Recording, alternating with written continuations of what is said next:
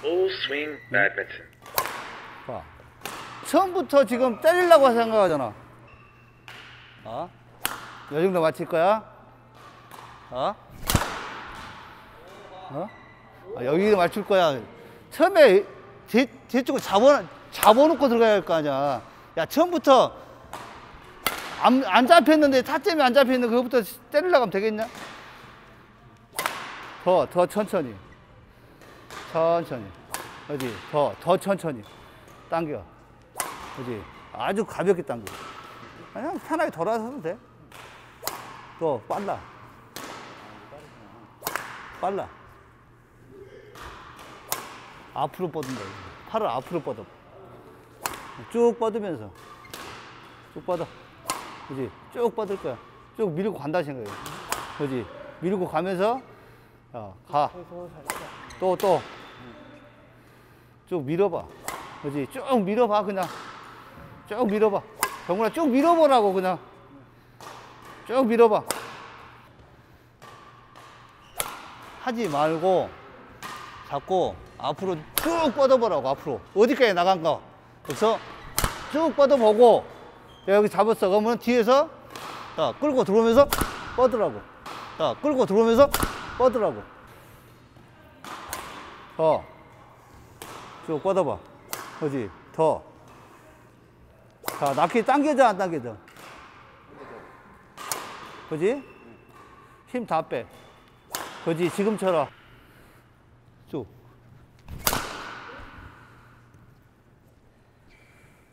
뻗어. 자, 돌아서야지. 뻗어. 볼 보면서. 쭉. 볼 스피드를 맞춰줘야지. 어, 그지? 둘, 맞춰줘. 발 바꿔도 돼, 거기서. 예. 뻗어. 예. 둘, 뻗어. 또 봐. 더, 또. 뻗어. 또. 빨라. 천천히. 볼을 건드는 시점이 여기서 잡고 원 구간에서 그대로 들어가야 되잖아. 근데 어떻게 돼?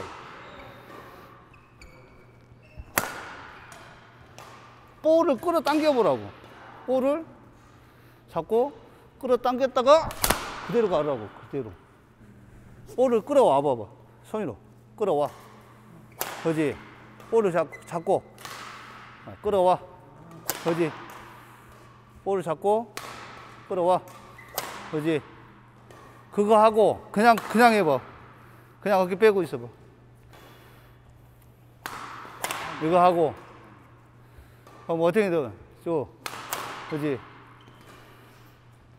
쭉, 그지? 쭉, 네, 더 힘 빼야지. 쭉, 더, 쭉, 더. 볼 잡고 이상하게 쭉 끌어다니면서 들어와야지. 아니, 끊김이 없이 들어와야 되는데, 어, 딱 끊겼어. 여기서부터 이제 밀려면 얼마나 힘이 많이 들어갈까. 이제 운동 관성 시작했어. 관성이 시작했는데 여기서 멈췄어. 그럼 정지야. 다시 하려면 또, 또 힘을 다시 줘야 돼. 그러면은 힘을 안전하게 끌어 당기면 바로 들어가면 되잖아. 앞으로, 이렇게 천천히 끌어. 예. 천천히 끌어. 그지? 끌어와, 천천히 끌어와봐. 끌어와, 천천히. 그지? 자, 천천히 끌어. 그지? 그러면 끊김이 없으니까 어떻게 돼? 끊김이 없으니까 바로 연결되잖아. 근데 대부분이 자꾸 끊어, 끊고 있단 말이야. 여기서부터 운동을 시켰으면 운동이 계속 진행이 돼야 되는데 운동을 시켜놓고 또 끊어. 그 다음에 또 끊어. 또 끊어져. 한 번에 쭉 들어가야지.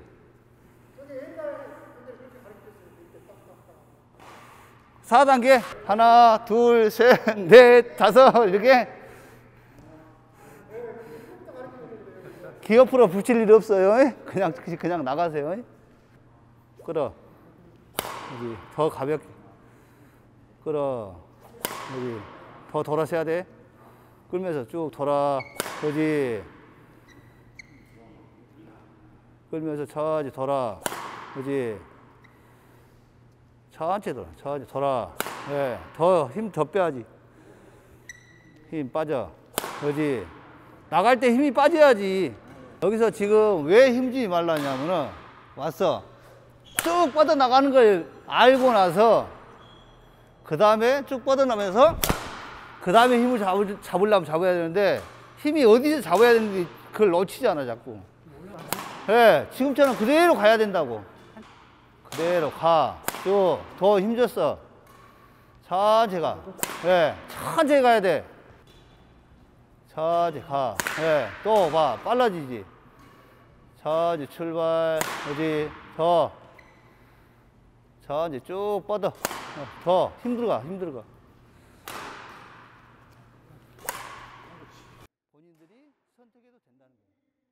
정답은 여기. 이것도 맞는 답, 이것도 맞는 답이야. 이게 80%짜리야. 정답이 80%짜리야. 그럼 여기가 10%짜리, 여기가 10%짜리야. 정답이란 것은 위, 중간, 아래도 없어. 100%라 정답은. 위에서 맞추고 싶으면 위에 맞추는데. 근데 거기에서는 힘을 쓸 수 없기 때문에 누르는 각이나 밀어내는 각밖에 안 나온다는 거지. 스매싱 각은 내려오는 각이고. 거기에서 누르고 싶다. 그러면 힘을 빼고 낙켓만 거두면은 내려가는 거지. 그 밑에 떨어졌어. 미끄러지면 어떻게 돼? 밀어. 안 꼬라박기 위해서 밀어야 되잖아. 차이야.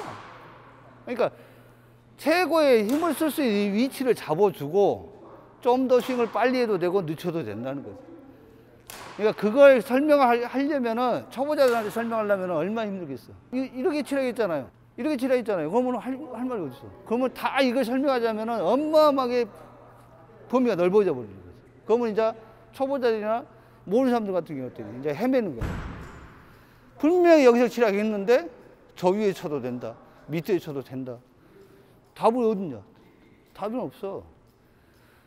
모든 스윙이 거리가 여기서 맞춰도 답이요. 여기서 맞춰도 답이요. 여기서 맞춰도 답이야. 내가 놓고 치고, 치고자 하는 데다 놓고 치는 게 답이라고. 힘을 최고 쓸 수 있는 위치 여기. 여기는 힘을 덜 쓰, 힘이 뭐 100%안 가네? 그럼 여기는, 여기는 덜 쓰는, 덜 쓰는 곳. 어, 여기는 힘 못 써. 여기도 덜 쓰는 곳. 이 갭 차이를 잡고 거기에서 내 힘을 최대한 다 하자는 거지. 약간 삑사리 나는 이유가 뭘까? 빨랐다는 소리. 여기 맞으면 뭐야? 샤프트 맞으면 늦었다는 소리. 정상적으로 맞으면 여기. 그 차이야. 높아도 되는데 높으면 힘을 덜, 수, 덜쓸 수밖에 없다. 좀 낮추면 내 힘을 최선을 다해서 쓸 수 있는 위치. 더 낮으면 힘을 못 쓰는 위치. 차이가 그거야. 그러니까 답이란 것은 정답이란 건 없어. 내 신장이 틀, 신장 신체 조건이 다 틀린데 어떻게 거기에다 여기다 맞추세요 하는. 그래서 신, 말하는 것이 정점 정점 하는 것 뿐이야. 정점이란 것은 정말 말 그대로 교과서에 나오는 정점이란 것은 볼이 비행을 해서 낙하 지점에서 막 떨어지면 정점이야. 이걸 맞출 수 있는 사람이 누구나 있어. 한 명도 없어. 왜? 이게 올라가면은 10m, 20m, 15m까지 올라가. 10m 이상은 올라가 버려. 그러면 내가 15m를 뛰냐고. 정점이란 말이야. 그게 안 맞는다는 소리지. 그런데 표현하기 위해서 정점이란 표현을 한 것 뿐이지 정점이란 것은 올라가서 떨어질 때 여기 이때가 정점인데 어떻게 11m, 11m를 쫓아 올라가냐고 내가. 씨, 내가 뭐 인간 새야? 인간 새도 안 돼. 장대 높이 뛰기만 하고 올라가겠다. 안 말이야. 그래서 최대한 내가 때릴 수 있는 위치까지 끌- 끌어내리는 거야. 끌어내릴 동안 나는 힘을 비축해야 되잖아. 근데 아, 씨, 와라잉 와라잉 오면 때릴 거야. 그럼 날라가.